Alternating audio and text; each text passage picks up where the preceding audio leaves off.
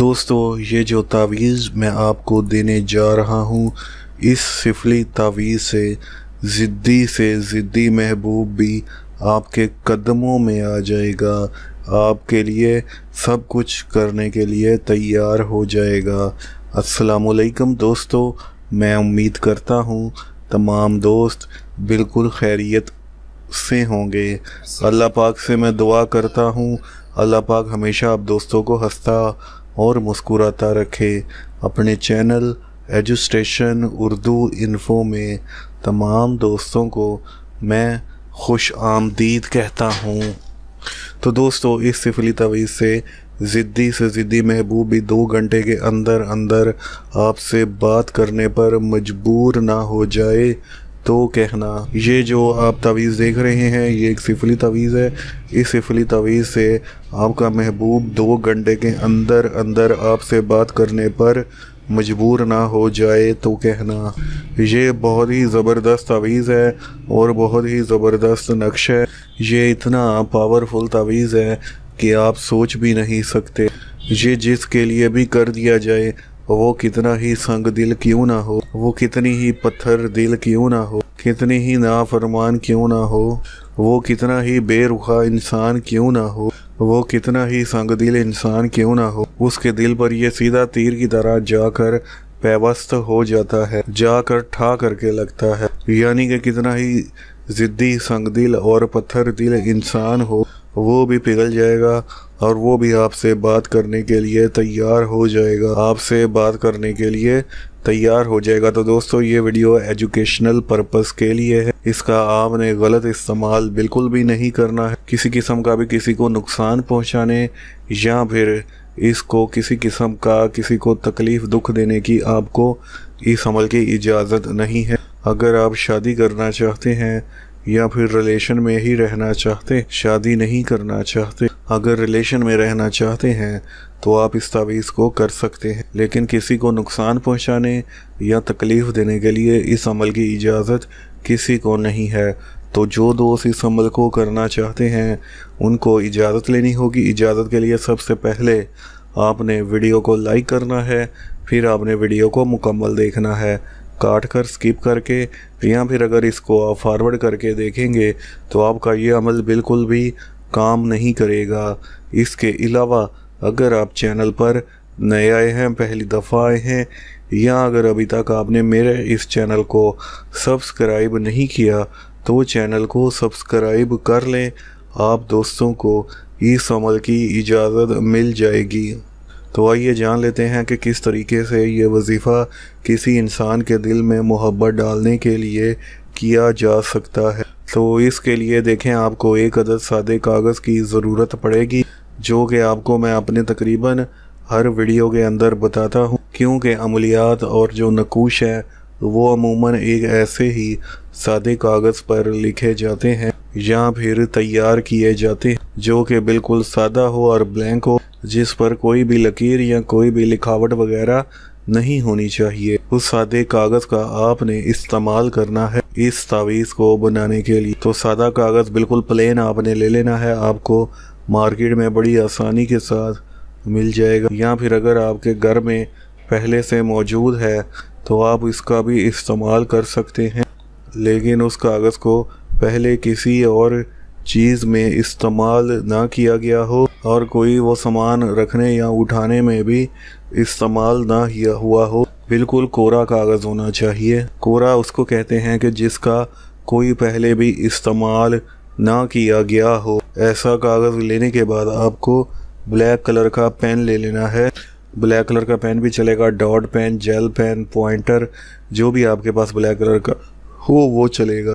जिस चीज़ से मर्ज़ी चाहें, आप इसको बना सकते हैं। इसको बनाने का जो थोड़ा सा तरीका है, वो ज़रा अलग है। इसको बनाने के लिए दिन कोई नहीं है। आप किसी भी दिन इसको बना सकते हैं। और इसके लिए वक़्त भी कोई मुकर नहीं है कि इसको किस टाइम बनाएँ और किस टाइम ना बनाएँ।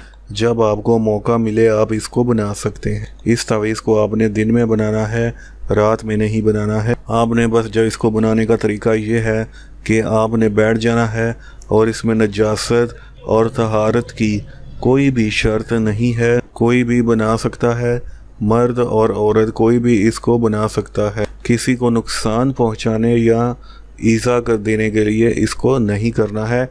मैं बार बार आपको बता रहा हूँ। अगर आप शादी करना चाहते हैं या फिर रिलेशन में रहना चाहते हैं, किसी की आपको इज़्ज़त, आबरू या नामूस से खेलने की इजाज़त बिल्कुल भी नहीं। आपने दोस्तों, किसी भी तरफ़ मुँह करके बैठ जाना है। तो सबसे पहले ऊपर जो एक छोटा सा गोल दायरा बना हुआ है, वो बना उसके बाद नीचे की तरफ़ आपने एक लाइन खींच लेनी है। उसके बाद दाएँ तरफ़ से गोल दायरा बना के बाएँ तरफ़ लेके आके आपने फिर एक गोल दायरा बना देना है। और नीचे जो उसकी ये शक्ल बनी हुई है, इधर से ले जाकर इधर बर देनी है जो नीचे शेप बनी हुई है लाइनों में, ये शेप आपने बना लेनी है। ये इसी हिसाब से एक जदवल बन जाएगा, ठीक है दोस्तों? तो फिर आपने दाएँ तरफ़ से अदाद लिखनी शुरू करनी है, जो ऊपर वाली लाइन है। सबसे पहले दाएँ तरफ़ जो नुक्ता है, वो आपने लिखना है। उसके बाद एक एक, दो, चार, दो, तीन। उसके बाद आपने नीचे आ जाना है और पहले फिर नुक्ता बनाना है। फिर पाँच, फिर चार, फिर एक, फिर तीन और फिर नौ। तो इसी तरतीब से आपने ये अदाद लिख लेने हैं। तो आपका तावीज़ जो है, वो मुकम्मल हो जाएगा। उसके बाद में आपने देखें, नीचे लिखना है, अलहुब। उसके बाद जिसके लिए ये अमल कर रहे हैं, उसका नाम लिखना है, अगर वो लड़का है तो उसके नाम के बाद बिन लगाएँ। आगे उसकी वालदा का नाम आपने लिख देना है, और अगर जिसके लिए कर रहे हैं, वो लड़की है तो पहले उसका नाम लिखें, फिर बिनते लिखें उसके बाद आपने उसकी वालदा का आगे नाम लिख देना है। उसके बाद आपने लिखना है अलाहुब। उसके बाद आपने करने वाले ने, यानी आपने अपना नाम लिखना है। अगर आप लड़के हैं तो अपना नाम लिखें। उसके बाद बिन लगाकर अपनी वालदा का नाम लिख देना है। और अगर लड़की है तो अपना नाम लिख लेने के बाद बिन ते लिख कर अपनी वालदा का नाम लिख देना है। तो इस तरीके से आपका ये नक्श, ये तावीज़ मुकम्मल तौर पर तैयार हो जाएगा। ये नाम आप अंग्रेज़ी, हिंदी, उर्दू, फ़ारसी, सिंधी, जो भी आपकी ज़ुबान है, आप उस ज़ुबान में नाम लिख सकते हैं। तो अब आपने इसका करना क्या है? इसी तरह के दो तावीज़ आपने बना लेने हैं। याद रहे कि बिल्कुल इसी तरह के आपने दो तावीज़ बनाने हैं। एक ही नशिस्त में बैठे हुए आपने एक ही बार में इसके दो तावीज़ बना लेने हैं। दोनों तावीज़ बना लेने के बाद में और नाम वगैरह लिख लेने के बाद में एक तावीज़ आपने पेड़ के ऊपर लटका देना है। कोई पोलोथीन वगैरह लगाकर पेड़ के ऊपर आपने इसको लटका देना है। और दूसरा जो तावीज़ है, इसको आपने पत्थर के नीचे दबा देना है।